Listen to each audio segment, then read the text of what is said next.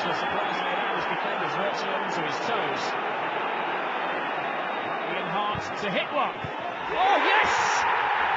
Robbie Fowler!